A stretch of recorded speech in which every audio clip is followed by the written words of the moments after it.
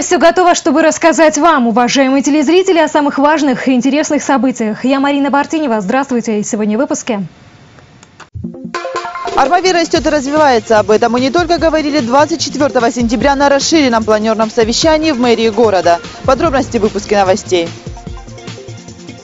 По дороге в ад. Приключения армавирской девушки закончились ее изнасилованием. Кто пытался замять это дело, узнала Юлия Чернышова. В мэрии прошло расширенное планерное совещание. На этой встрече речь шла не только о текущих проблемах, но и перспективах развития нашего города. С подробностями из конференц-зала Наталья Замора. Хорошие новости. Именно с них начал мэр Андрей Харченко. Армавир – город, в котором рождаются сказки. Нет, мифология здесь ни при чем. Так называется новый детский сад в хуторе Красная Поляна. Еще одно новоселье для детворы запланировано в другой части города, в микрорайоне Северный. Но там долгожданное действие произойдет чуть позже. У северян детсадик вдвое больше Краснополянского. Он рассчитан на 280 мест. Не забывает власть и про здравоохранение. Во всех городских поликлиниках проходит ремонт. Есть и другие новости. Скоро будет введен в строй сердечный сердечно-сосудистый центр. Говорили на планерке и о проблемах.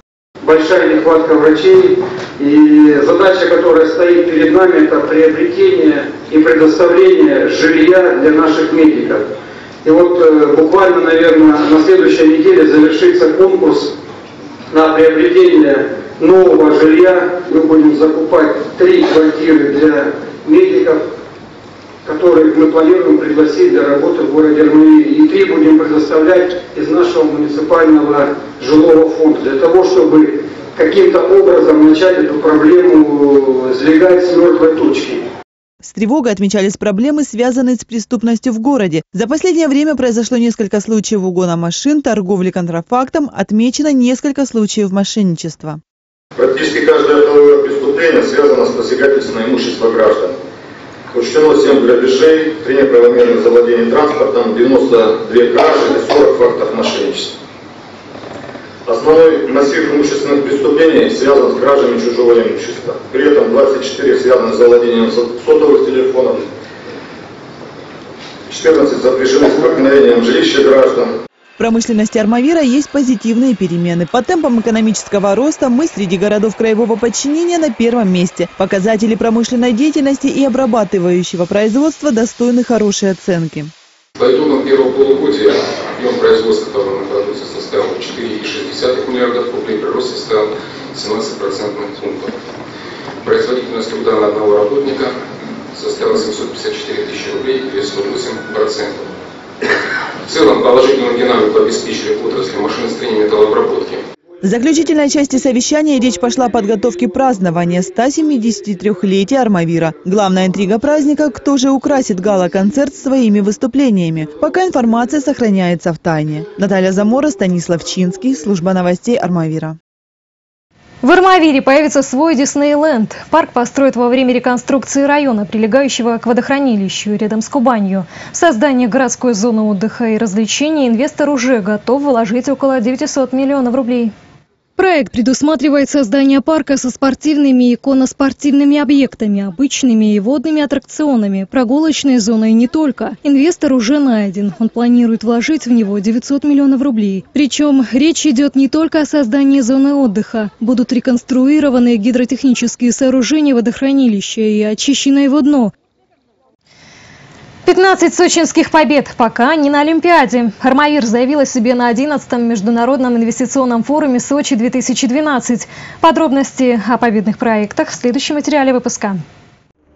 Армавирская делегация во главе с мэром Андреем Харченко после длительной и серьезной подготовки прибыла в Сочи со своими идеями. На инвестиционной площадке были представлены 15 проектов, имеющих важнейшее значение для нашего города. В ходе переговоров, которые длились не один день, заключены соглашения с инвесторами о реализации всех 15. Общий объем инвестиций в экономику Армавира составит около 11 миллиардов рублей. Среди самых ожидаемых социальных проектов выделяется строительство нового жилого комплекса.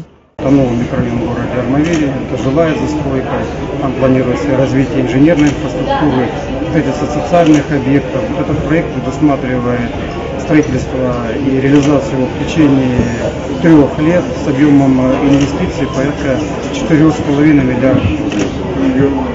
это будущее города Армавира. Соглашение подписано на участок территории, а вообще сегодня город на перспективу планирует там масштабное строительство.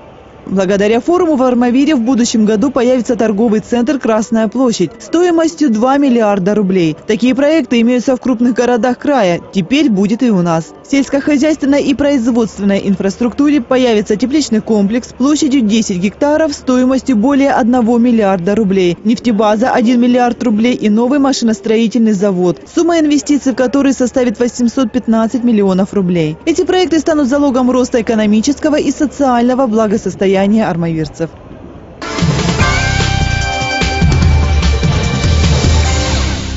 Армавирский бизнес заговорил на языке поднебесный. Наш город посетила делегация из Китая. В программе визита обсуждались условия развития отечественного машиностроительного комплекса и энергетики. Зарубежная делегация выразила готовность к сотрудничеству и посетила несколько объектов Армавира. Гостей сопровождала в том числе и Дарья Топчева. Первым объектом, который посетили члены делегации, стала Армавирская теплоэлектроцентраль. Экскурсию по ее территории провел лично Олег Лучков, генеральный директор Армавирского завода тяжелого машиностроения. Иностранные гости, китайские бизнесмены внимательно ознакомились с оборудованием ТЭЦ, активно интересовались особенностями ее работы в условиях российского климата. Приоритет работы станции – электроэнергия или тепло, продолжительность отопительного сезона в городе. Эти и другие вопросы адресовали гости через переводчика Олегу Лучкову. Зарубежные коллеги были приятно удивлены объемом вырабатываемого тепла электростанции. А посетив помещение, где находится главный щит управления, единственная женщина, член китайской делегации, отметила отличное состояние оборудования, возраст которого насчитывает несколько десятилетий. Столь пристальное внимание понятно. Зарубежные коллеги нацелены на сотрудничество и финансирование объекта. В частности, реконструкцию электростанции станции, новые объекты которой планируют возвести рядом с нынешней. Олег Альбертович проводил делегацию на предполагаемое место строительства. При этом отметил, что его можно вести практически в течение всего года, за исключением периода сильных морозов, которые в нашем регионе непродолжительны. Далее делегация из Китая в сопровождении Олега Лучкова и главного инженера Александра Пилипенко посетила Армавирский завод тяжелого машиностроения. Объемы производства и качество выпускаемой продукции произвели на зарубежных коллег большое впечатление. Во многом это результат профессиональной деятельности руководителя предприятия Олега Альбертовича, за годы работы которого Армавирский завод тяжелого машиностроения сделал огромный шаг вперед. Уверенно удерживающий позиции, он принимает активное участие в программах краевого уровня. По приглашению Союза машиностроителей Кубани на Кубань прибыла делегация из э, китайских э, предпринимателей и бизнесменов, которые включают в себя представителей госкорпораций, инвестиционных компаний, энергокомпаний, для того, чтобы рассмотреть возможность участия в строительстве и финансировании ряда объектов на территории Краснодарского края. Это энергообъекты в городе Краснодаре, это строительство литейного цеха на Точмаш-приборе, это реконструкция нашей ТЭЦ, это различные технологии для ЗТМ. Привлечение новых технологий и финансовой поддержки зарубежных коллег позволит подняться промышленности и энергетике города на более высокий уровень, а значит улучшить качество жизни населения. Дарья Топчева, Станислав Чинский, служба новостей Армавира. Железнодорожные безбилетники. Армавирцы не смогут предварительно бронировать и покупать билеты на поезда. Руководство РЖД вынуждено приостановить продажу с 26 октября. Запрет носит временный характер и связан с возможным возвращением в Россию зимнего времени. Если депутаты одобрят проект, то в конце октября придется корректировать расписание и графики движения всех поездов, как пассажирских, так и грузовых. Инициатива об отмене перевода часов с летнего на зимнее время принадлежит премьер-министру России Дмитрию Медведеву. Напомним, в 2012 году Россия в последний раз перевела часы вперед. Сделано это было 27 марта. На осенней сессии депутаты Госдумы намерены отменить перевод часов навсегда.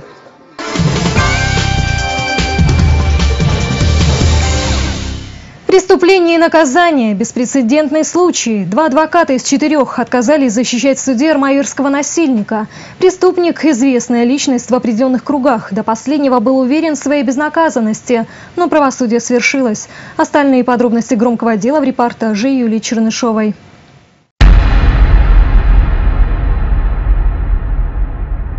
Этим ножом представил горну все это.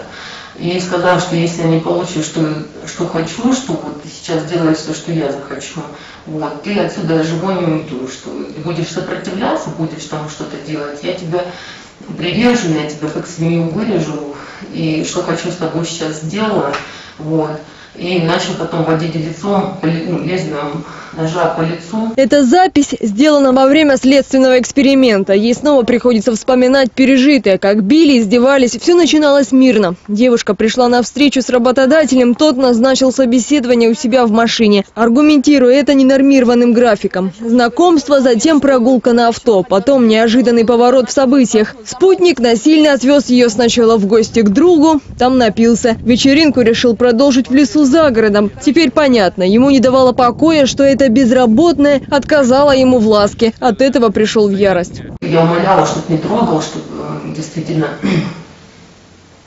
И после этого вывез в сторону деревни. Сейчас.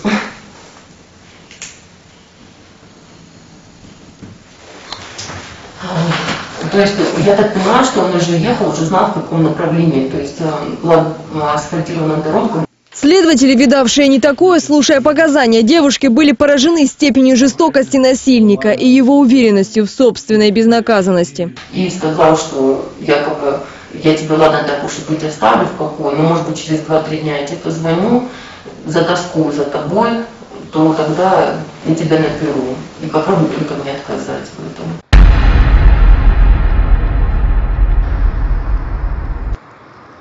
Судом был вынесен объективный и справедливый приговор. Э, лицо, совершившее изнасилование, было признано виновным в совершении преступления, и ему назначено наказание в виде лишения свободы на срок 8 лет.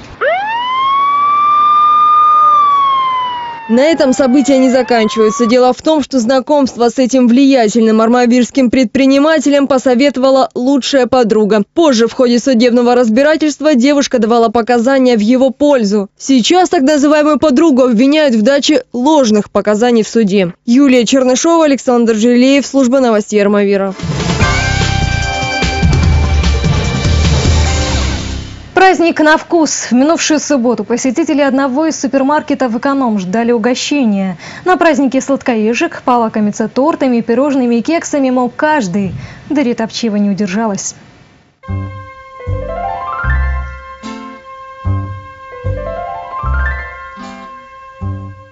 Масляные, творожные, с натуральными фруктами, кексы шоколадные со сгущенкой, восточные сладости, песочное печенье, торты, пирожные, эклеры. И все это от кулинаров сети супермаркетов «Эконом». Но разве можно устоять против такого аромата и вкусностей?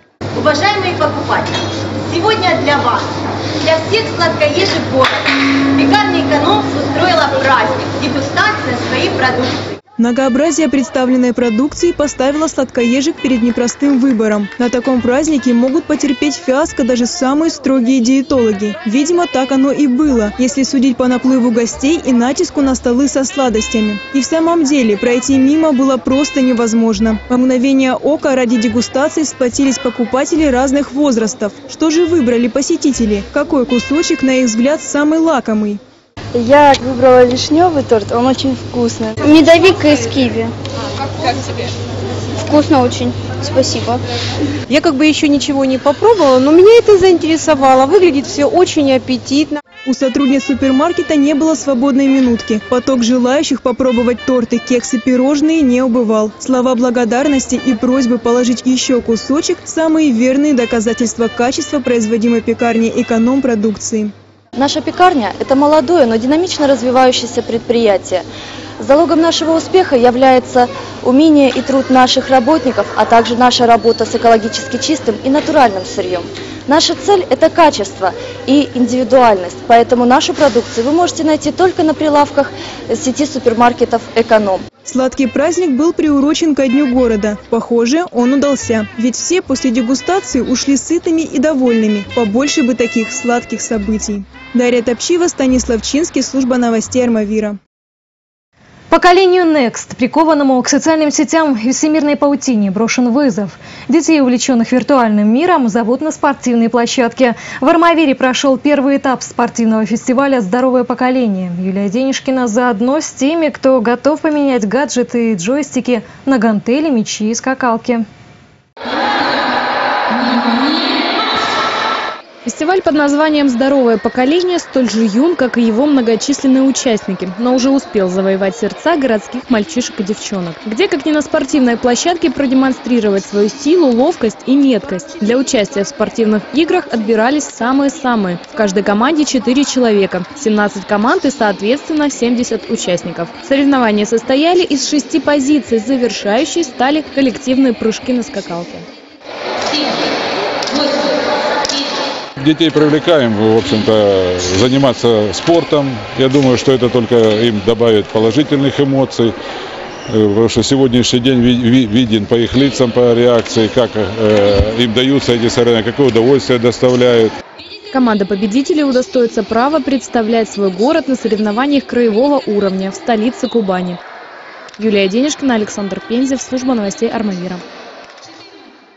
Об этих и других событиях вы также сможете узнать в любое время суток на сайте в интернете тройное wmedia.tv. Там же вам доступна видеоверсия информационной программы. А на форуме Медиагрупп можно предложить волнующие вас темы для репортажей. На этом выпуск завершен. Далее традиционный метеопрогноз. Я же прощаюсь с вами. Желаю только самых добрых новостей. До встречи на телеканале ТНТ «Армавир». Одежда ведущей предоставлена магазином женской одежды «Гюзела Классик», улица Мира, 51.